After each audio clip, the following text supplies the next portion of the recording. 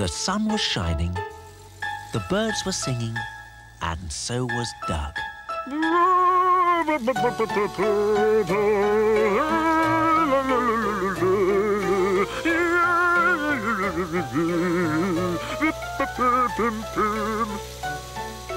He liked singing on his way to work. It made him feel better. Morning, Beth. Hiya.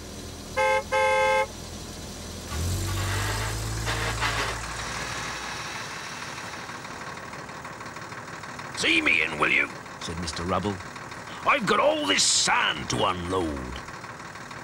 Right, said Dug. Keep going. That's it. Bit more. Raise the back when we shout now. Ow! No! Right! said Mr. Rubble, and pulled the lever to unload the sand.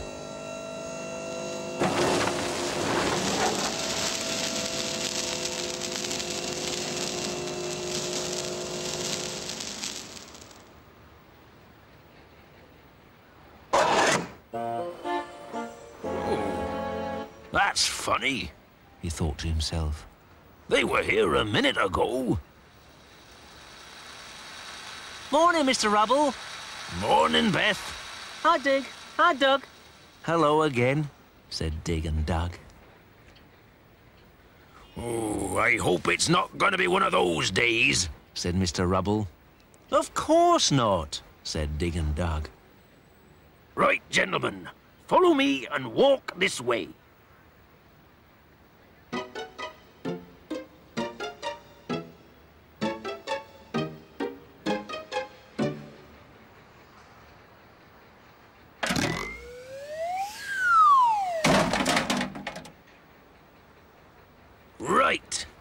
Said, and realized they weren't behind him.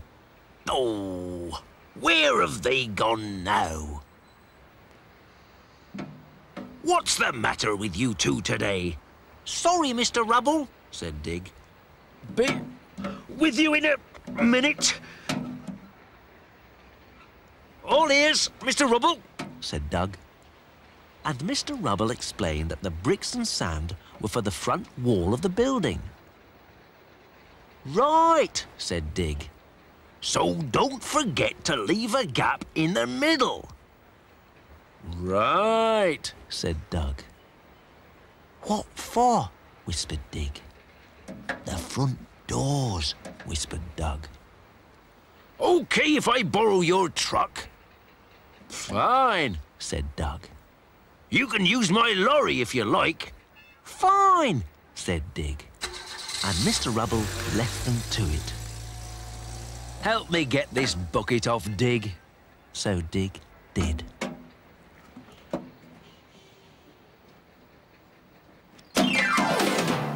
Mr. Rubble's right, Dig. Looks like it's going to be one of those days. Let's get started before anything else goes wrong. So they did.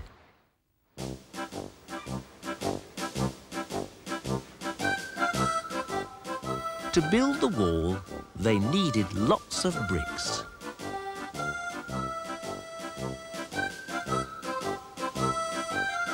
Lots and lots of bricks.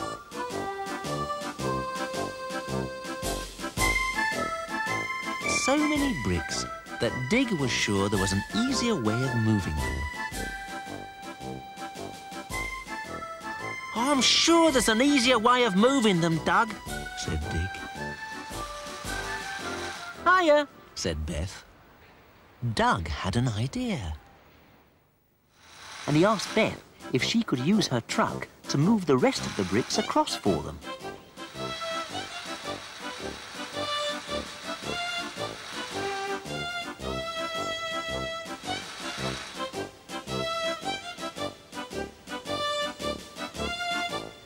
That's the lot, guys. Thanks, Beth, said Dig and Dug. We'll have that wall up in no time, said Dug.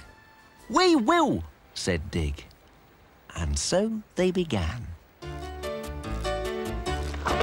Dig mixed the cement, and took it across to Dug, who was getting on famously. Coming along famously, said Dig. Oh, it's coming along famously, all right, said Dug.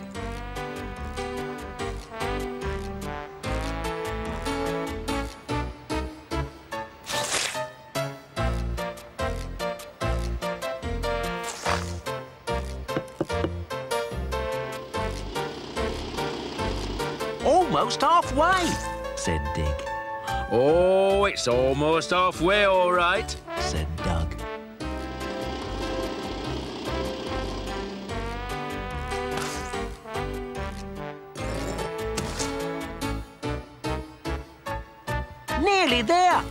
said Dig, Oh, it's nearly there, all right.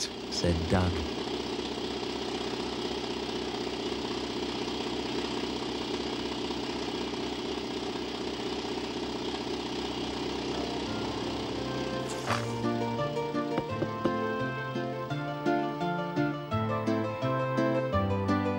Pretty well finished, said Dig, Oh, it's pretty well finished, all right. said Dug.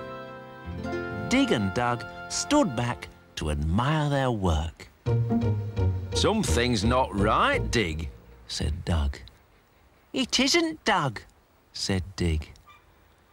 Something's there that shouldn't be. It is, replied Dig.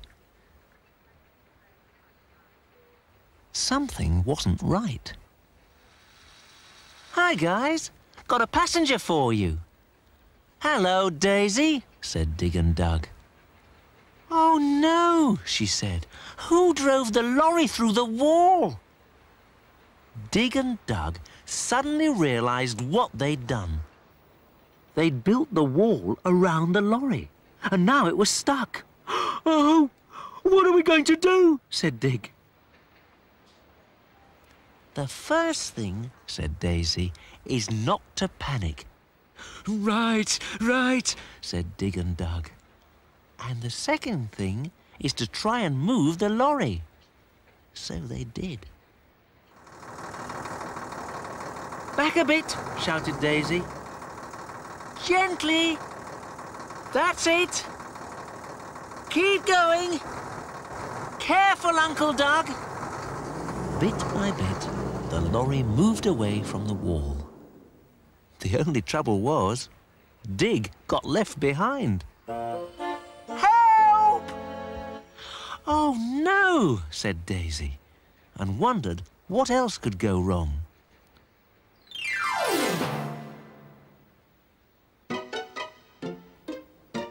Hello, young lady.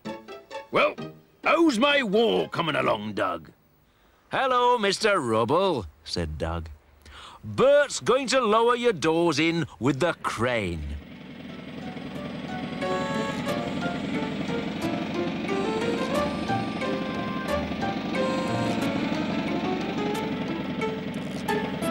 Perfect. said Mr. Rubble. But where's Dig got to? Here I am, Mr. Rubble. Just checking that the doors work.